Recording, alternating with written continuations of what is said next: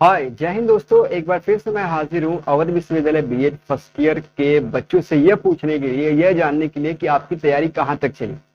हमने एक वीडियो बनाई थी जिसमें हमने बात करी थी कि आपके second paper psychology of learning and development अधिगम का मनोविज्ञान एवं विकास के बारे में कुछ इंपॉर्टेंट क्वेश्चन बताए थे। ठीक है? अब मैं आपसे कुछ और प्रश्न पूछने वाला हूँ कि क्या आपने वो प्रश्न तैयार कर लिए हैं? और क्योंकि वो बहुत ज़्यादा इंपॉर्टेंट है मोस्टली रिपीटेड प्रश्न। जिसमें पहला आपसे प्रश्न आपसे ये पूछा जाएगा अधिगम का सिद्धांत what is the concept of learning अगर मैं आपसे पूछूँ कि लर्निंग किसे कहते हैं, क्या आपने लर्निंग की परिभाषा याद कर ली है? लर्निंग का अर्थ याद कर लिया है? लर्निंग के बारे में जो उसकी अवधारणा है, उसकी विशेषताएँ हैं, क्या आपने वो चीज़ें तैयार कर ली? क्योंकि दोस्तों, ये बहुत ही इंपॉर्टेंट प्रश्न है, अधिगम की अवधारणा द कॉन्सेप्ट ऑफ़ लर्निंग उम्मीद करता हूँ कि आपने यह तैयार कर लिया होगा। दूसरा पॉइंट दूसरा पॉइंट है मनोवैज्ञानिक सिद्धांत।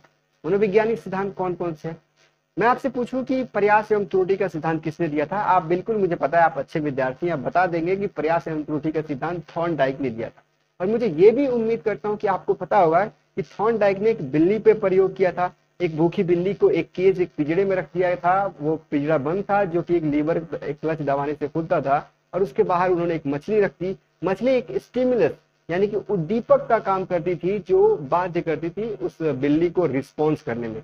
और रिस्पॉन्स बिल्ली गलत रिस्पॉन्स करती थी, कुछ त्रुटि करती थी, उसमें कुछ हरकतें करती थी और इसी के बीच एक बार गलती से वो लीवर दब गया और गेट खुल गया, बिल्ली बाहर आई और मछली खाई थॉर्न डाइक ने क्या किया? इसी चीज़ को बार बार से किया बार बार से किया और उन्होंने देखा कि ये जो बिल्ली थी, उसकी जो त्रुटि करने की संख्या थी ना, वो धीरे धीरे कम होती गई। यानी कि अब वो गलतियाँ कम करती गई। एक वक्त ऐसा आया कि वो बिल्ली उस मछली को खाने के लिए गलती नहीं करती थी डायरेक्ट क्लच या लीवर दबाती थी और बाहर आके मछली खा लेती ठीक है? इस प्रकार से वो बिल्ली सीख गई कि आप क्लच दबाएँगे तो वो दरवाज़ा खुल जाएगा और इसी को थॉर्नडाइक ने कहा, प्रयास एवं त्रुटि का सिद्धांत मतलब अगर कोई बच्चा कोई चीज़ सीखने में कोई त्रुटि करता है तो कोई बात नहीं, उसको त्रुटि करने दीजिए, क्योंकि एक वक्त ऐसा आएगा कि वो सीख जाएगा, अधिगम उसके अंदर हो जाएगी, वो चीज़ों को सीख जाएगा। इसी को प्रयास एवं त्रुटि का सिद्धांत कहते हैं। तो मैं ये आपको बस बता रहा हूँ, क्योंकि मुझे पता है कि आपने अच्छे तरीके से इसको समझ लिया होगा, आपने इसको पढ़ लिया होगा, इसको अच्छे तरीके से कॉन्सेप्ट क्लियर कर लिया होगा। ठीक है? उम्मीद करता हूँ। दूसरा दोस्तों, आपने क्या पावलो के अधिगम का सिद्धांत आपने पढ़ लिया? क्रियानुबंधन का सिद्धांत। उम्मीद करता हूँ बेसिक आपने पढ़ लिया होगा। स्किनर महोदय ने जो दो प्रयोग किए थे। अच्छा पावलो ने किस पे प्रयोग किया था? कुत्ते पे हाँ? एक कुत्ते पे लार पे प्रयोग किया था। उन्होंने घंटी बजाई थी, खाना दिया था। आपका कॉन्सेप्ट क्लियर मैं उम्मीद करता हूँ क्लियर नहीं क्लियर है तो थॉर्नडाइक का और फॉलो का वीडियोस भी यहाँ पे मौजूद है। आप प्लीज़ उसको देख लीजिएगा। तीसरा दोस्तों स्किनर स्किनर ने जो अधिगम के लिए जो प्रयोग किया था, अधिगम का सिद्धांत दिया था, आपने वो उम्मीद करता हूँ कि आपने वो समझ लिया होगा, आपने पढ़ लिया होगा। और चौथा last but not the least वो भी इंपॉर्टेंट है, वो है कोहलर बग का सिद्धांत। कोहलर बर्ग ने किस पे किया था? आपके बेस्ट फ्रेंड पे चिंपैंजी पे किया था। तो दोस्तों, उम्मीद है आपने वो एक्सपेरिमेंट भी देख लिया होगा। तो अभी तक हमने किसकी बात करी? पहली बात करी थी अधिगम के सिद्धांत के बारे में द कॉन्सेप्ट ऑफ़ लर्निंग के बारे में, और तीसरा द थियरी ऑफ़ लर्निंग मतलब सॉरी पहला था अवधारणा। द कॉन्सेप्ट ऑफ़ लर्निंग मतलब अधिगम की अवधारणा। और दूसरा था थियरी ऑफ़ लर्निंग मतलब अधिगम का सिद्धांत, जो कि अधिगम के सिद्धांत में मोस्ट इंपॉर्टेंट है थॉर्नडाइक पावलोव स्किनर और कोहलर बर्ग ये चार में से दो तो आपके प्रश्न में आएँगे ही आएँगे। अभी इस चीज़ को रिकॉर्ड कर लीजिए स्क्रीनशॉट लेकर। तीसरा दोस्तों पॉइंट है मोटिवेशन यानी कि अभिप्रेरणा क्या होता है। की परिभाषा क्या होती है? अभिप्रेरणा की विशेषता क्या होती है? अभिप्रेरणा के मूल तत्व क्या होते हैं और अभिप्रेरणा की ज़रूरत क्यों होती है?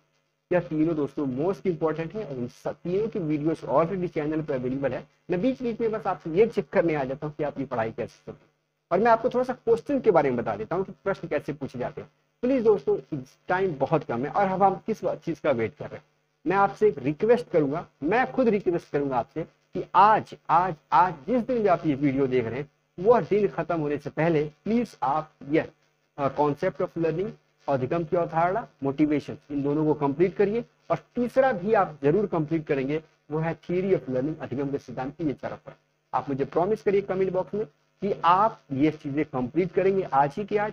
और मुझे कमेंट में बताइए कि आपने कितना ऑलरेडी प्रिपेयर कर रखा है। इन सभी के वीडियो मेरे चैनल पे मिलेंगे। प्लीज़ आपको अगर कोई इश्यू होता है, कोई नोट्स चाहिए पीडीएफ चाहिए, मैं टेलीग्राम पे सब भेज दूँगा।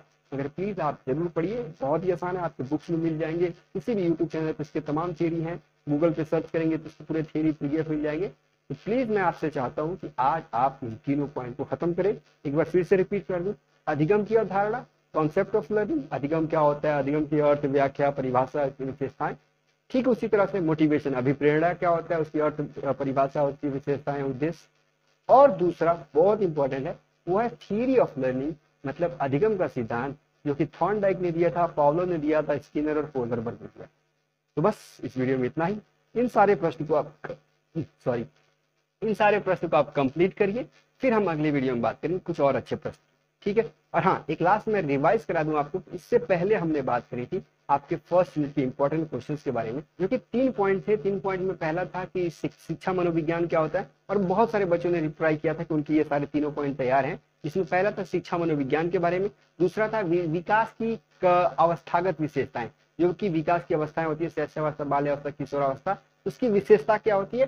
और तीसरा और लास्ट बट नॉट लिस्ट था जीन पियाजे का संज्ञानात्मक विकास का सिद्धांत और संज्ञानात्मक विकास। ये इसके पहले वाली वीडियो में हमने बात करी है, और ये तो सबका तैयार होगा। तैयार है ना? पक्का तैयार होगा। तो ये हमने पहले वाले वीडियो में बात करी थी। आप अगर पहले वाले वीडियोस नहीं देखे तो ये प्रश्न के बारे में बात किया जा चुका है। आप प्लीज़ इन तीनों प्रश्नों को याद करिए और साथ ही साथ आज की वीडियो में मैंने जो आपको प्रश्न बताए कॉन्सेप्ट ऑफ़ लर्निंग बार बार बताने का मकसद यही है कि आपके दिमाग में बैठ जाए कि आपको ये आज खत्म करना है, पढ़ना है। अगर आप स्क्रीन लेना चाहे तो स्क्रीन लीजिए। अगर पेन कॉपी पे लिखना चाहे तो लिख लीजिए कि आज आपको ये चीज़ें खत्म करनी है। वो है कॉन्सेप्ट ऑफ़ लर्निंग अधिगम की अवधारणा थियरी ऑफ़ लर्निंग अधिगम का सिद्धांत, अधिगम के सिद्धांत में थॉन्डाई पावलव स्किनर और पोहलरबर्ग और लास्ट वो है मोटिवेशन अभिप्रेरणा का कॉन्सेप्ट ठीक है? तो अगले वीडियो में मिलेंगे, उससे पहले आप तैयार कर दीजिए और कमेंट बताइए कि आपने कितना तैयार कर लिया है और कब तक आप तैयार कर लेंगे ओके फ़िलहाल वीडियो में इतना ही। कमेंट में अपनी राय दें और दोस्तों सब्सक्राइब करें चैनल को, अपने दोस्तों तक शेयर करें, अपने क्लासमेट और अपने कॉलेज के ग्रुप में शेयर कर दीजिए। देखिए बर्थडे विश करना और ये सारी चीज़ें विश करना दैट इज़ रियली गुड मगर मैं चाहता हूँ कि आप अपने कॉलेज के ग्रुप में कुछ अच्छी वीडियोस डालें। और इस वीडियो का लिंक वहाँ पे शेयर कर दीजिए। बहुत बहुत शुक्रिया। जय हिंद, जय भारत।